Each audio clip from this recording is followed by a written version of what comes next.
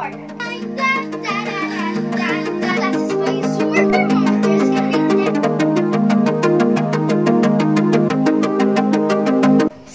and technology is very important, especially this time pandemic.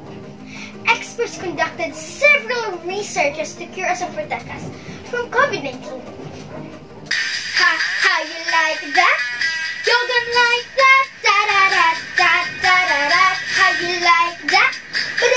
Boom boom boom. How you like that? Da da da da da da da da. Yeah.